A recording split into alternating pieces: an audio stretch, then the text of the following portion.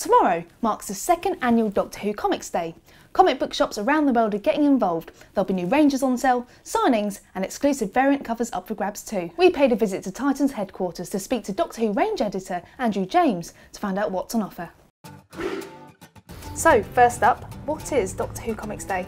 So Doctor Who Comics Day is sort of an international celebration of both Doctor Who and comics. It's kind of an excuse to um, get comic stores all over the world to throw small parties, get cosplayers in, generally uh, just have fun with the brand and with the comics and the fact that there are Doctor Who fans all over the world and they really want to celebrate their passion essentially. On Saturday, the 15th of August, people can go into their local comic book store, pick up uh, the linchpin of the event, which is the first issue of our Doctor Who event series for 2015. Uh, four Doctors, written by Paul Cornell with art by Neil Edwards and colours by Ivan Nunes. Fantastic. Comic store owners will be there to kind of guide them through the many titles that we got and sort of say this is a great jumping on point, try this out.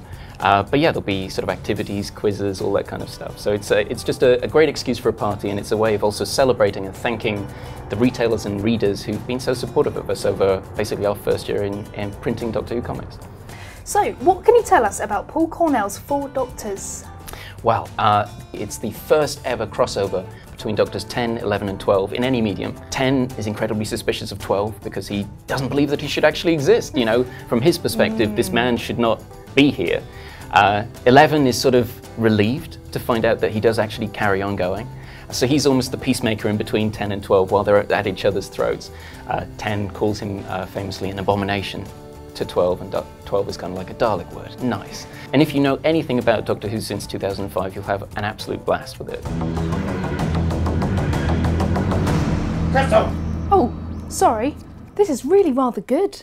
But with all these comics, where on Gallifrey does one start?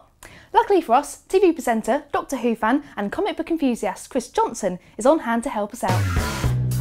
Man, we got spoiled in 2013, didn't we? Big Finish's extravaganza, the light at the end, a shiny new Peter Capaldi to look forward to, and some television special called The Day of the Doctor or whatever. You might have heard of it. But also, we were treated to a 12-issue event from IDW called Prisoners of Time, featuring the first 11 incarnations of the Doctor being pursued throughout history alongside his companions by a mysterious figure hell-bent on revenge. With every issue, we found out a little bit more about who this person could be, and hopefully, the Doctor Doctor did too. Highlights?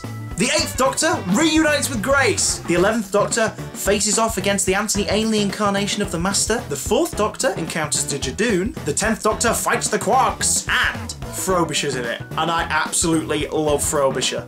Doctor Who, The Ninth Doctor. Hot on the heels of their three ongoing Doctor Who titles, the mighty team at Titan bring us the Ninth Doctor Limited Series. This is a sheer delight to read, bringing back to life one of the most popular, if short-lived TARDIS trios in Doctor Who history in a brand new story.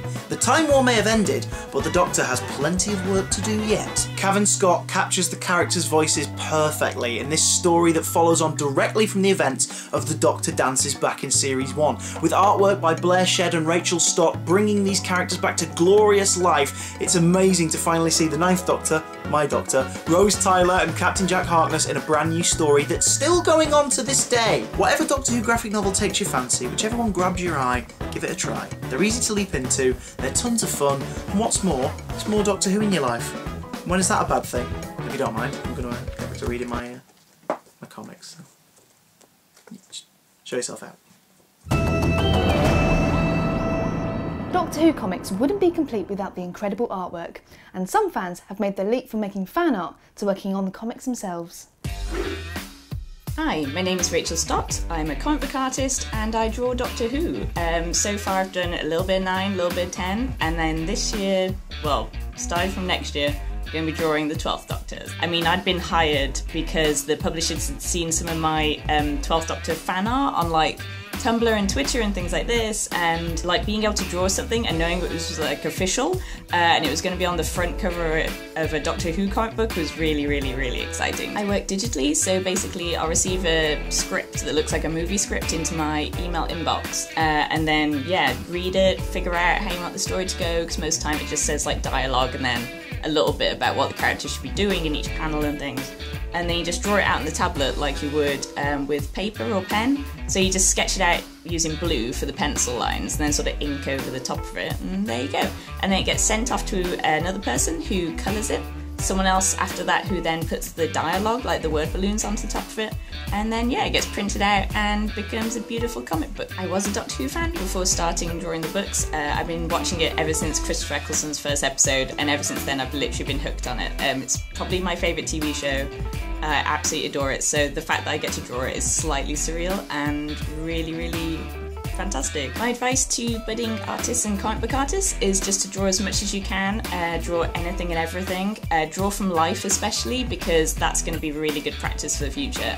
Uh, for budding Doctor Who artists, saying drawing from life doesn't mean follow Peter Capaldi and Jenna Coleman around and draw them all the time because that's not cool. Um, but you know, if you draw like your living room, the same rules are going to apply as to when you draw a spaceship. It's all just perspective and composition and things like this.